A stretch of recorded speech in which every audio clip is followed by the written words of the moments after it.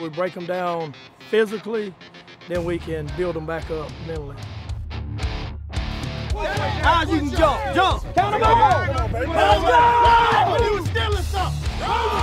Let's go! When he gets to where he can't do anything, we'll just make him roll. Don't run into that cone. He's not tough at all. Uh, no, he's not tough at all. One, two, three. Don't let Every time you run away, that's the pain that you put them through. Did you say thank you? Okay, when somebody gives you something, that's what you do. You say thank you, right? Mentally, he's got to be broke down a little bit more. Right now, we're sending Samaj into the cell block. We run the jail, but the inmates actually run the cell block. He, he said he's bad. Take the cuffs off him. I want to shoot. Take the cuffs off. What we found over the years is that kids seem to think it's cool to go to prison. Don't you scared? Show me tissue right by now, boy. What's up with you? And we put them in that environment so they can understand they're not built for this type of situation. We here because we made mistakes, not because we want to be here, man.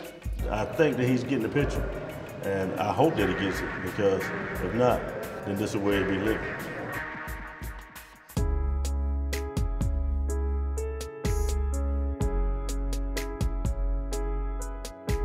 We start the program with a lot of yelling, a lot of screaming, making sure that we have their attention. Then we show them that we care and we love them and give them some support.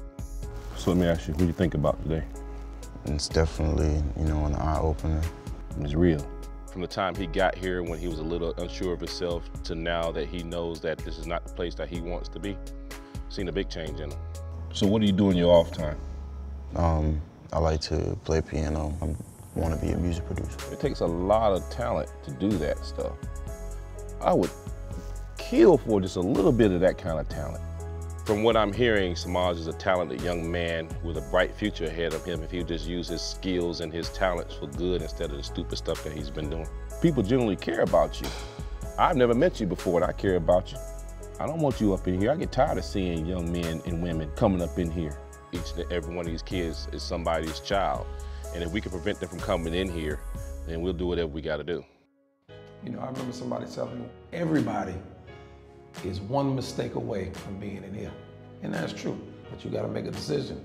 Do you wanna be doing time with them? Or you wanna be doing time out here doing something constructive with your life? All right, so you, you seem like you've got a good game plan. You say you wanna do music, right? Sure. If you believe in yourself, then I know you'll make it. I wanna see Samaj be a successful citizen in society. All you gotta do is do the right thing, okay? I made up my mind that this isn't where I'm going to end up. This isn't for me. Hey, folks, welcome. Uh, thanks for checking out my YouTube channel. Don't forget to click here to subscribe to my channel. That way, you won't miss a single hot new video. Some really good stuff. And then I want you to click here to see more clips from the show right now.